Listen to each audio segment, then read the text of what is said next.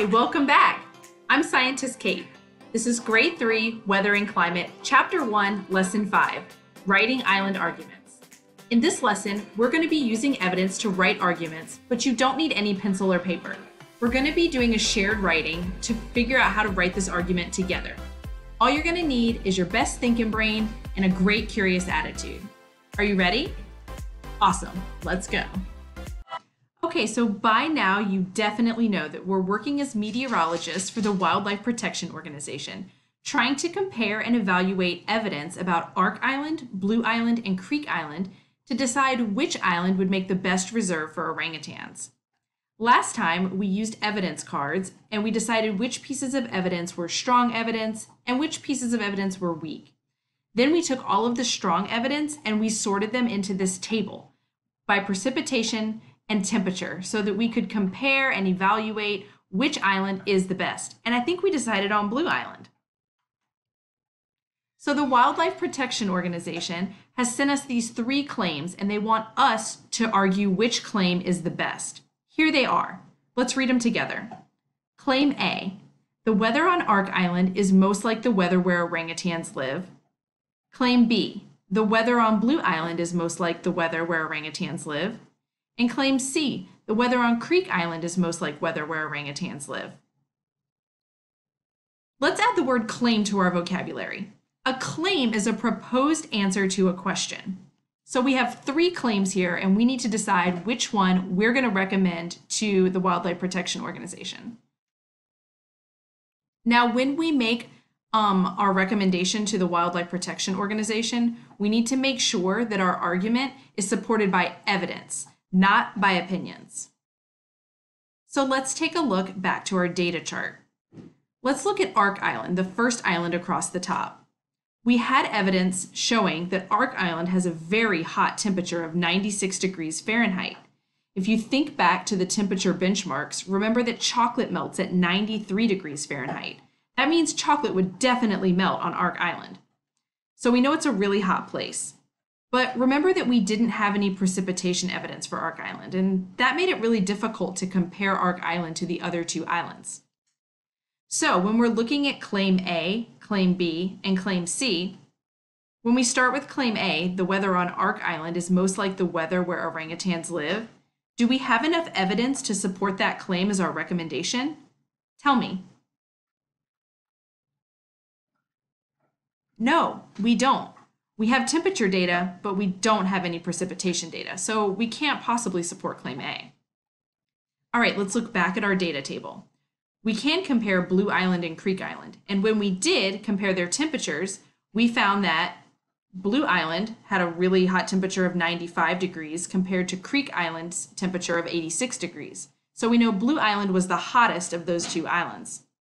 Looking at precipitation, Blue Island had 38 millimeters of rainfall, and Creek Island only had 20 millimeters of rainfall. So when we compare those two, we see that Blue Island was the hottest and the rainiest of the islands that we had data for. So going back to our claims, we already know it can't be A. So let's look at claim B and claim C. Claim B says the weather on Blue Island is most like the weather where orangutans live. Do you think that sounds right? Yeah, me too. We have data and evidence to show that claim B is the one we should support. What about claim C? The weather on Creek Island is most like the weather where orangutans live. No, we know that Creek Island isn't as hot or as rainy as Blue Island. Okay, so now we're going to work together to write our first scientific argument. Well, wait a minute. What is a scientific argument anyway? What do you think of when you hear the word argument? Hmm. When I visualize the word argument, I think of two people like yelling at each other and being really mad. Do you think that's what a scientific argument is? Do you think it's like two scientists screaming at each other about who's right and who's wrong? No. That's not what a scientific argument is. Scientists don't get angry and shout at each other about who's right and who's wrong. Instead, a scientific argument is something that does two things. Number one, it answers a question with a claim about the natural world. And number two, it includes evidence to support the claim. Now, we selected a claim. We claim that Blue Island is the best island for the orangutan reserve. And guess what? We have evidence to support that claim. So we're ready to make our scientific argument. We're going to write it together using all the evidence that we've collected, compared, evaluated, sorted. We've done a lot with this evidence, and now we're ready to make a recommendation to the Wildlife Protection Organization. So here we go. Whenever you start a scientific argument, you always want to start out with your claim first. Just let's not have any secrets or any mysteries. Let's just tell them what we think. So here it is. The weather on Blue Island is most like the weather where orangutans live. There you go. We've shared our claim. Remember that it's claim B from that list. Now, if somebody was reading our argument, they may not know what the weather is like where orangutans live. So we should probably give them a little more information. Do you remember what the weather's like where orangutans live? I bet you do. What two things are we looking for in the weather for the reserve? Yeah, we're looking for hot weather and we're looking for rainy weather. So let's add that to our argument. You can see I've written all um, I've written in orange. So orangutans live on islands that have hot, rainy weather. Great. Now we can be sure that our audience knows what the weather is that we're looking for. All right, so let's go back to our evidence because it's time to start drawing on this evidence from the evidence table and putting that into our argument because that's going to really support our claim. So Remember that we don't have enough evidence for Ark Island, so we want to just jump into our evidence for Blue Island. So we're going to pull that piece of temperature evidence, 95 degrees. We're going to pull that piece of precipitation evidence, 38 millimeters, and let's put them into our argument. Ready? The evidence shows that Blue Island's temperature was 95 degrees and Creek Island's temperature was only 86 degrees. Blue Island is the hotter island. Great. That's a really solid, convincing piece of evidence. It's two um, measurements that were taken the same way. That's really strong. Okay, let's go back and grab our precipitation um, evidence. Okay, so 38 millimeters for Blue Island and 20 millimeters for Creek Island. So we need to make sure that we show Blue Island was rainier. Okay, here's what I added. I hope you're okay with it. The evidence also shows that Blue Island had 38 millimeters of rainfall in one day, and Creek Island only had 20 millimeters of rainfall. That means Blue Island is rainier. Cool. So we've used evidence to show that Blue Island is hotter and that it's rainier. All right, so what we also need to do is we need to prove to the Wildlife Protection Organization that we reviewed all three of the islands and we did our best to compare. So we need an explanation for why we didn't select Ark Island. Do you remember why we didn't select Ark Island? Yeah, we didn't have enough evidence because we didn't have a precipitation um, reading for how much rainfall fell in one day. So we need to add that to our argument to show that we've been thorough. So we can't recommend Ark Island because we don't know how much rainfall that island had in one day. So we couldn't compare it to the other islands. In conclusion, we recommend Blue Island because our evidence shows it has the best weather for a reserve. So not only did I answer uh, the Ark Island piece, but I also added a conclusion just to kind of wrap it up because we know when we write, we always want to add a nice conclusion that restates our claim. So we've just written our first argument together. Are you ready to hear it all together? Let's see if it sounds convincing. Let me know if I've forgotten anything. From the top. me, me, me, me, me. Okay. The weather on Blue Island is most like the weather where orangutans live.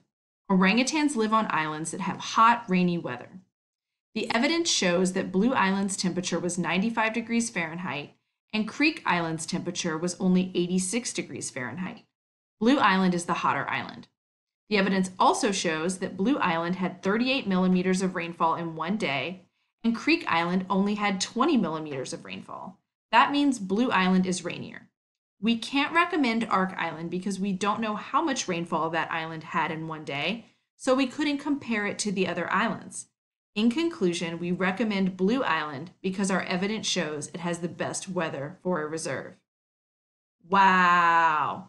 Yeah, knocked it out of the park, took our evidence, organized it into a really strong argument.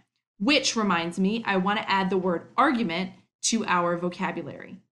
An argument is the use of evidence to say why one idea is the best. Did we just do that? Oh, we did.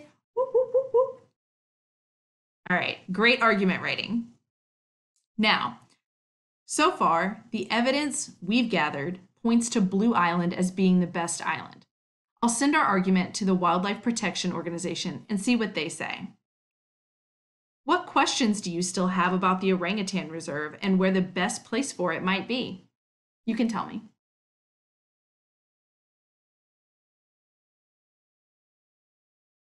I still have a question. I'm dying to know where that missing piece of information about Ark Island is because I wonder what it would tell us and if our claim would change if we had that piece of information. Hmm. Maybe we'll find out, maybe we won't. Now, before we wrap up for today, I want to remind you to keep collecting your local weather data. Local weather data is the weather data from right around wherever you live. So I live in Seattle, Washington, and I've been collecting my own weather data. Remember that last time I read you the first line of what I collected, and here's what I collected today. For the date, I put April 2nd. For the time, I put 5:30 p.m. because that's what time it is. And for the temperature, I checked my thermometer and I saw that it was 42 degrees Fahrenheit. For precipitation, I could just put zero because it didn't rain a single drop here today. And for cloud cover, I went outside and y'all, it was sunny and clear. Ooh, it was beautiful outside. Spent some time sitting out on my back deck, watered all my plants. Oh my goodness, it was beautiful today. All right, so I hope that you are still collecting your local weather data too, because we're gonna need it later on in the unit. Well, that's it. That's the end of chapter one. I'll be back for chapter three. But in the meantime, for chapter two, you're going to have a new scientist helping you through the program. Her name is Scientist Cynthia, and I think you'll really like her. Cool fact about Scientist Cynthia is that she doesn't live in Seattle, Washington. She lives in a different US city. I'm going to give you a hint about what city she lives in to see if you can guess it. The hint is this city's nickname is the Mile High City because it's located in the Rocky Mountains in the United States. Can you guess? If you don't know, that's okay. You're in third grade, you probably don't know every single major US city yet. So you could figure it out three different ways. One way is you could ask the other adults who live in your house if they know the answer. You could look it up online. The internet is a wealth of information. Or you could just wait until chapter two, lesson one, when scientist Cynthia introduces herself and tells you what city she's in. So I'll see you again for chapter three. In the meantime, stay curious. Bye.